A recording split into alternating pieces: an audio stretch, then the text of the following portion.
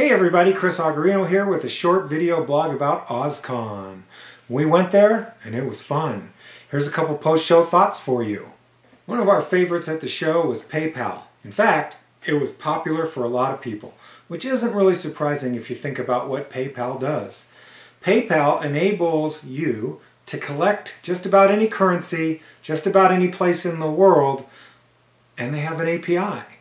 In other words, you can make your software get money using PayPal. So it's not even a little bit surprising that PayPal would be one of the popular uh, booths at a show like OSCON.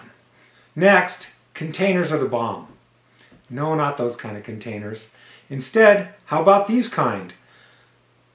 No, that's also not the kind of container I'm talking about. I'm talking about, an, that's an ISR 4451 router, but Inside of that router is Cisco IOS, and inside of some versions of Cisco IOS, we have native container support. So if you needed to do some sort of a network application using, uh, and you wanted to do it maybe say at a branch office, and um, maybe it needed to make a call to some information about the network, that's all built right into your container.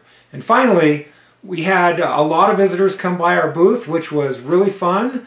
And one of the things that they seemed to like the most was our springboards. And I kind of like the fact that they like that because that's one of my favorite things too. Uh, we put some time and energy into our springboards. So if you're a developer, uh, let's say you're an application developer and you want to know a little bit about what you might want to do to get in with Cisco and our APIs, learn a little bit of the networking side, we have a springboard just for you. Or let's say you're a network engineer and you want to get in a little bit uh, to programming, maybe some network automation or something like that. Again, Cisco Springboards, we've got one for you. Uh, that should be popping up on the screen right about now as a link where you can go to our Springboards and start checking it out. Thanks for listening. Have a great day.